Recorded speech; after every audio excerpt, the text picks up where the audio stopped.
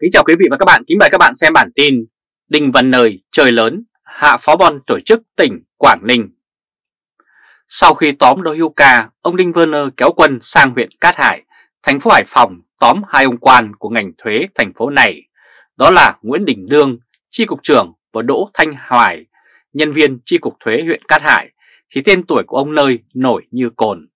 Vì ông đã bắt những cựu quan chức tỉnh khác để điều tra. Chiều ngày 22 tháng 4, ông Đinh Văn Nơi, Giám đốc Công an của Quảng Ninh cho khởi tố bị can đối với ông Phạm Văn Thành, Phó trưởng ban tổ chức tỉnh ủy Quảng Ninh.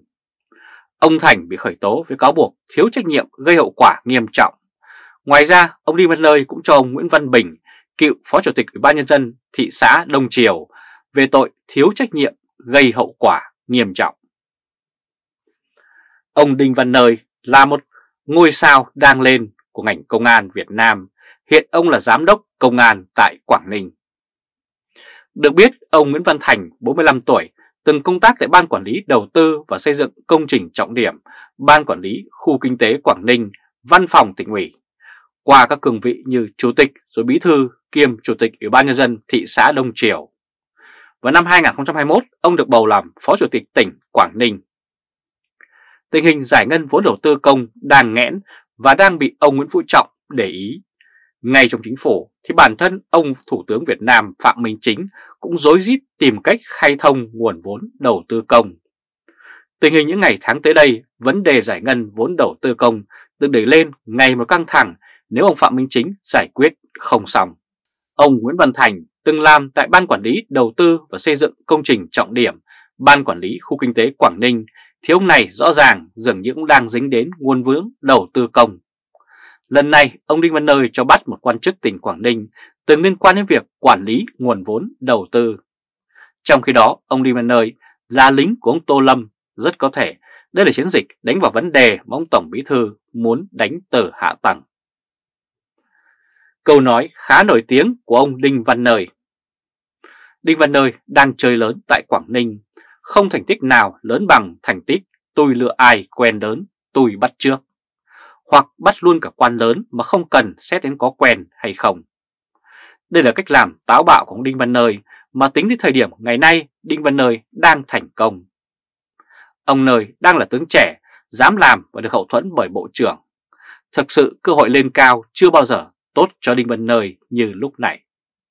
Ông Đinh Văn Nơi dường như đã chọn phe, nhóm và ông Nơi là người của phe Hưng Yên trong Bộ Công an đang cần. Thành tích của ông Đinh Văn Nơi khiến người đề xuất thăng chức cho ông Nơi cũng được đánh giá cao. Tuy nhiên, trò chơi chính trị là con dao hai lưỡi. Đôi khi nó rất tiện ích trong vai trò công cụ, nhưng nó cũng rất dễ đứt tay. Chỉ có những người đứng sau mới hiểu vấn đề. Số phận của Đinh Văn Nơi thì đang phụ thuộc vào nhóm Tô Lâm.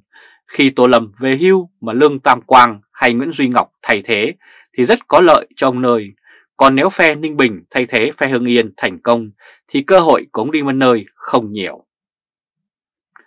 Ông Đinh Văn Nơi cho khởi tố luôn phó ban tổ chức tỉnh. Là dũng tướng thì cần phải có đất dụng võ. Đất dụng võ của ông Nơi đang là Quảng Ninh với những vụ án lớn có liên quan đến những nhân vật có máu mặt ở Trung ương. Mục đích của ông Tô Lâm đưa Đinh Văn Nơi đến Quảng Ninh dường như để giải quyết bài toán lớn mà ông Trọng đã đặt ra cho ông Tô Lâm. Tại đây, vụ án IC của bà Nguyễn Thị Thanh Nhàn trúng thầu Bệnh viện Sản Nhi Quảng Ninh là một vụ án lớn. Bộ Công an đang vấp phải sự kháng cự rất mạnh và vụ án đang dậm chân tại chỗ. Liệu ông Đinh Văn Nơi có hướng giải quyết nào cho nó hay không đang là một câu hỏi.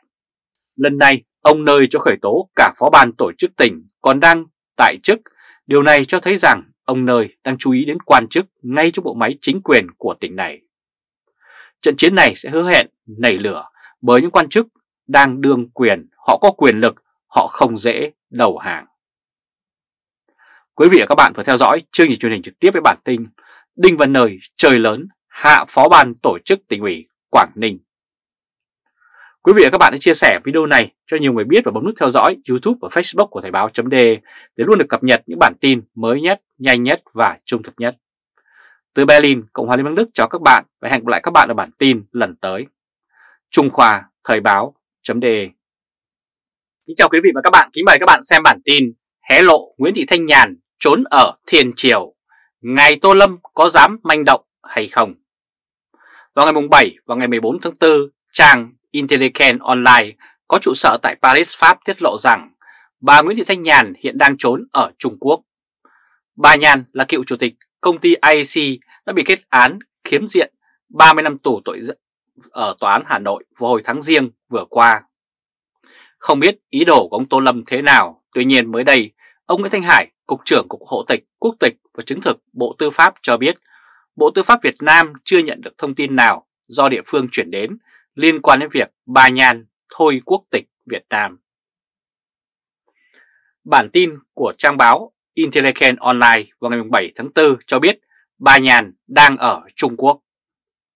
Không biết ông Tô Lâm có dùng biện pháp nghiệp vụ sở trường của ông như đã dùng với Trịnh Xuân Thanh, Trương Duy Nhất và Thái Văn Đường để mà tóm bà Nguyễn Thị Thanh Nhàn về Việt Nam hay không.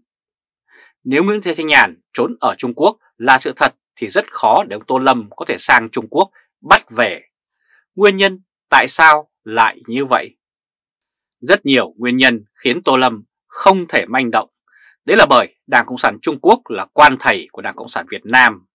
Một cú vuốt dâu hùm đối với Tập Kịch Bình thì cả Đảng Cộng sản sẽ khốn đốn chứ đừng nói gì một mình Tô Lâm. Nếu Tô Lâm bắt cóc người tại Đức thì phía Đức phản ứng vì Tô Lâm đã vi phạm pháp luật nước họ. Tuy nhiên nếu Tô Lâm làm điều tương tự với Trung Quốc thì đây không chỉ là ông Tô Lâm làm đúng hay sai luật ở Trung Quốc mà còn là sự xúc phạm đối với một nước tự cho mình là thiên triều, tự cho mình là quan thầy của Đảng Cộng sản Việt Nam. Mà giả sử nếu ông Tô Lâm muốn bắt cóc thì đất nước rộng lớn như Trung Quốc sẽ rất khó cho Tô Lâm nếu không có chỉ điểm. Vậy nên khi có thông tin bà Nguyễn Thị Thanh Nhàn sống ở Trung Quốc thì đối với ông Tô Lâm cũng chỉ là trò mò kim đáy bể. Bản tin của Intelligent Online vào ngày 14 tháng 4 cho biết bà Nhàn đang ở Trung Quốc.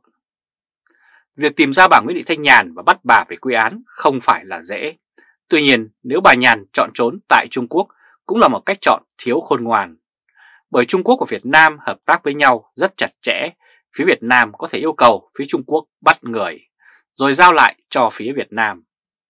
Những vụ án bà Nguyễn Thị Thanh Nhàn nhúng tay vào là những vụ án rất lớn, nó liên quan đến hàng tỷ đô la. Nơi nào bà Nhàn tham gia đấu thầu thì nơi đấy bà đã giải tiền từ bí thư tỉnh ủy đến các giám đốc sở liên quan. Cho đến nay, bà Nguyễn Thị Thanh Nhàn có bị truy tố trong 3 vụ án, trong đó có một vụ án đã đưa ra xét xử sơ thẩm và bà Nguyễn Thị Thanh Nhàn bị tuyên án nặng nhất với 30 năm tù. Bà Nguyễn Thị Thanh Nhàn được một số nhà quan sát đánh giá là bản lĩnh khi bà đang trốn truy nã nhưng vẫn với tay ngăn dặm để mà điều khiển luật sư bảo chữa thay cho bà kháng cáo. Đây là đầu mối của ông Tô Lâm có thể khai thác để tìm ra nơi ở của bà Nhàn. Trước khi có lệnh khởi tố một tháng, bà Nguyễn Thị Thanh Nhàn và ông Bộ trưởng Bộ Kế hoạch và Đầu tư Nguyễn Trí Dũng có chuyến đi Trung Đông. Thế nhưng chỉ trong có một thời gian rất ngắn, bà Nguyễn Thị Thanh Nhàn đã sắp xếp cho bà và 6 thuộc hạ trốn ra nước ngoài, trong đó có người hiện đang trốn tại Mỹ. Nếu bà Nguyễn Thị Thanh Nhàn đang trên cơ, thì bà ở bên tàu thật Tô Lâm cũng khó mà có thể bắt cóc. Nếu bà Nguyễn Thị Thanh Nhàn trốn tại một nước châu Âu hoặc Mỹ có thể là an toàn hơn là trốn tại Trung Quốc, bởi với nước Mỹ Tô Lâm khó hợp tác hợp pháp và lại càng không thể dám sang Mỹ để mà bắt cóc mang về.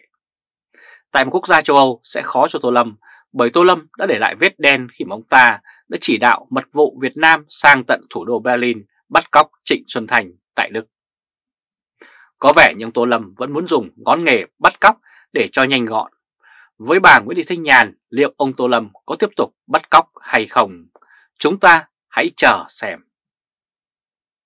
Quý vị và các bạn vừa theo dõi chương trình truyền hình trực tiếp với bản tin hé lộ Nguyễn Thị Thanh Nhàn trốn ở Thiên Triều. Ông Tô Lâm có dám manh động hay không? Quý vị và các bạn hãy chia sẻ video này cho nhiều người biết và bấm nút theo dõi YouTube và Facebook của Thời báo .de để luôn được cập nhật những bản tin mới nhất, nhanh nhất và trung thực nhất. Từ Berlin, Cộng hòa Liên bang Đức chào các bạn và hẹn gặp lại các bạn ở bản tin lần tới. Trung Khoa Thời báo .de